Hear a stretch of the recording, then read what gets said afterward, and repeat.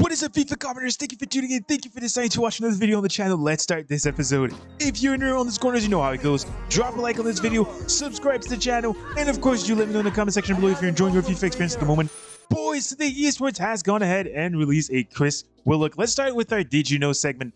Did you know that Chris Willock has been absent from the pitch for about four games now? And the reason for that is because of a hamstring injury. The coach, Mick Beale, Queen's Park Rangers coach, has says, and I quote, we're missing one of the best players of the league. But, but, but he is set to return in the upcoming games. The media has said that Rangers have struggled badly without Willock, but have won three out of the four games he has missed, bringing them actually at the top of the uh, EFL Championship table at the moment. If you all remember last year, we did get ourselves a team of the season, Chris Willock, and I'll show you really quickly.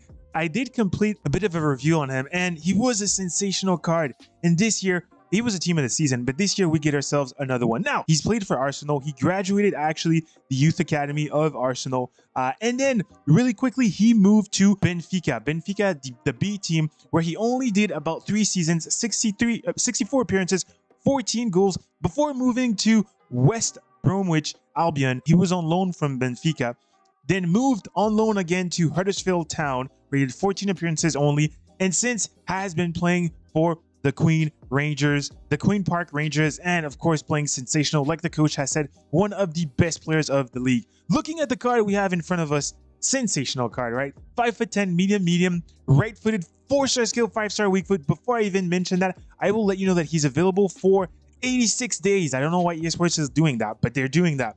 Looking at his alternate position, he can play as a striker, he can play as a cam, and boys, that is absolutely fantastic. Moving on to the attribute details 81 acceleration, 81 sprint speed. That is pretty incredible. Honestly, listen, the reason why I say that is because he has incredible distribution for the other attributes. And for him to have that 81 81, that means that you can really maximize the pace. You can focus on that pace, focus on that shooting. Because look at the shooting on this card 89 into uh, 89 attack positioning, 86 finishing, 86 shot power. This card is cracked.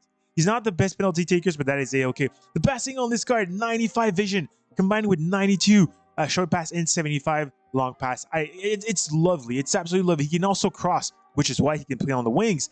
88 crossing, 89 curve, and that is sensational. Now, Moving on very quickly to our favorite website world, that is Futbin. You can see really quickly here that he is lean body type, and that has to do with the dribbling. The dribbling on this card is absolutely incredible. Look at that. Look at that. Let's have a quick look. 93 agility, 84 balance, 84 reaction, 86 ball control, 87 dribbling, and he is lean body type. That's crazy. He doesn't get the lengthy, he gets the explosive uh, uh, uh, sort of uh, attribute there, but that's a-okay if you were looking at the best chem style you could apply on this card, it's very simple. It's a hunter.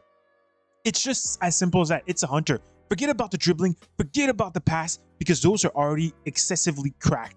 You have to maximize the pace, you have to maximize the shooting, and you can play this guy as a striker. You can play him as a cam. The only thing is the medium medium, so I would suggest more playing him as a cam than a striker. And we do see his brother right there, uh, Willock, uh, from Newcastle, who will probably get a card as well. But you again, you can play him as a striker if you like. You play him as a cam. You can even play him on the as a winger as soon as the game starts, and that will be easy peasy. Now, coming back to your screen here, he does get 80 heading accuracy combined with 80 jumping. That is a-okay, nothing too crazy. 89 stamina, 75 strength, and technical dribbler as a player trait. Now, to complete this SBC, it's ridiculous. It's so cheap. It's so, so very cheap. It's just an 83 overall team. You need one player that's 84 or higher. You need one team in the season. You need one English player and a 4-2-3-1. This card is so cheap, so good, so powerful, so incredible uh, that it's it's a must. I, I I don't have to do any real convincing to you guys, but it is an absolute must. Like I'm saying,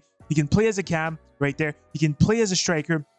He can also play at, uh, as a winger because of those incredible uh, stats, uh, the crossing and the curve. Boys, this was your FIFA Commoner, letting you know really quickly my thoughts on this card, a sensational card, a mad card. If you enjoyed this episode, drop a like, subscribe, and I'll catch you very soon for another review on the channel. Peace out!